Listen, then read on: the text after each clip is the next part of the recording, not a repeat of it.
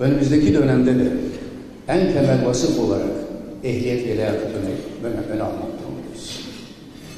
Bugünlerde özellikle siyasal ve ekonomik çıkarlar bağlamında dinimizin kutsal değerlerinin hoyratça kullanılması kimin tarafından yapılırsa yapılsın, kim tarafından bu manevi değerler kısır hesaplar için kullanılırsa kullanılsın, biraz önce bahsettiğim emanete en büyük ihanet yapılmış olur. Bu değerlere sahip çıkacağız. Bu değerlerin çıkarlara feda edilmesine asla göz yummayacağız.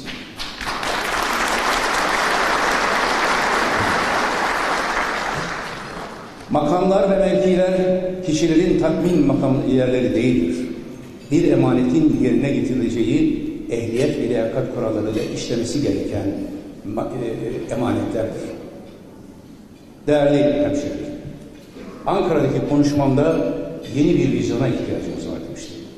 Evet, ülkemizin, İslam dünyasının, insanlığın yeni bir vizyona ihtiyacı var. Konya'da buna bir şey daha eklemek istiyorum. Bizim şu anda sloganlara ve çok üst düzey söylemlere değil, yeni bir hale ihtiyacımız var. Yeni bir hale ihtiyacımız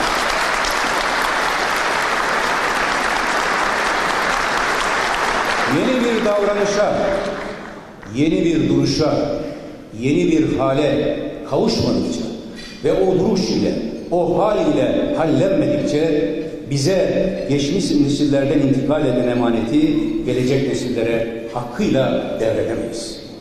Peki nasıl bir hal?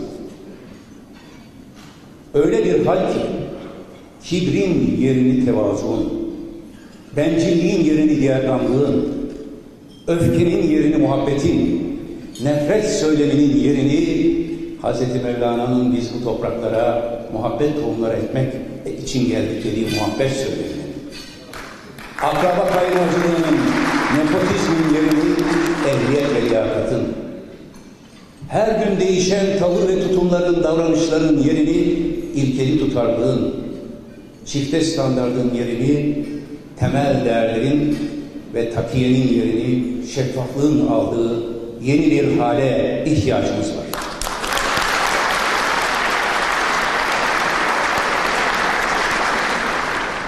Bizler yeni bir hal ile hallendik dediğimizde biliniz ki karşı karşıya kaldığımız problemleri birer birer çözecek güce de kavuşuruz.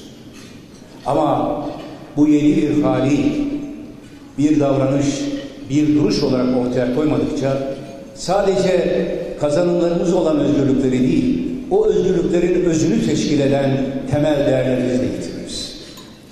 Temel değerlerimizi yitirmemek için bize çok büyük fedakarlıklarla emanet edilen o birikimi aynı ölçüde ve daha güçlü bir şekilde gelecek nesillere aktarmak için hepinizi yeni bir vizyonla birlikte yeni bir hal ile hallenmeye davet ediyorum.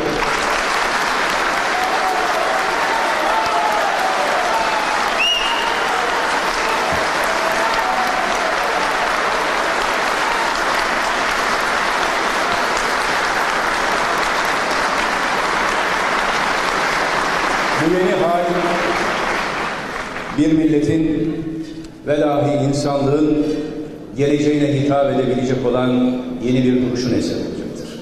Özetle ya yeni bir hal ya da izmihlal.